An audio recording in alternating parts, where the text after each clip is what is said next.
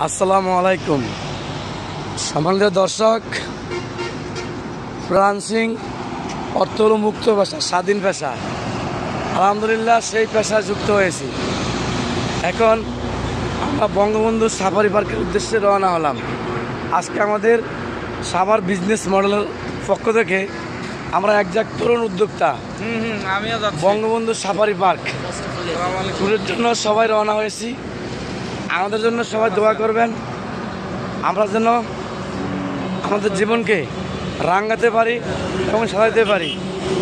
এটা কিন্তু আমরা বুঝে গেছি। আমার জীবন আমাকে সাজাতে হবে রাঙাতে হবে।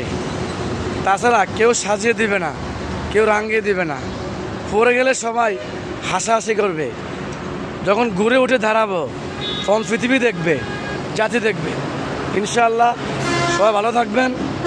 প্রিয় ট্রাস্ট এভিলিয়েট সবাইকে অনেক বেশি মিস করছি আজকের এই দিনে। ইনশাল্লাহ আমরা যাচ্ছি, আর ওদেরকেও নিয়ে যাব। আল্লাহ হাফেজ। আসসালামু আলাইকুম।